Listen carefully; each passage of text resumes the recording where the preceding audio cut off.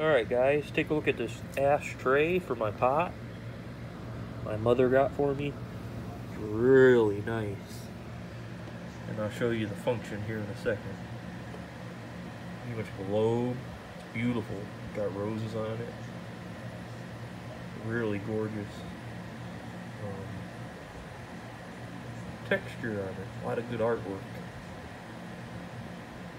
And basically what you do smoke a bowl, you just flip this up like that, tap your pot out in there, and then you just go like this, close it, and it all falls in there. You can see I take this off, it's, this is removable. You can see all my pot ash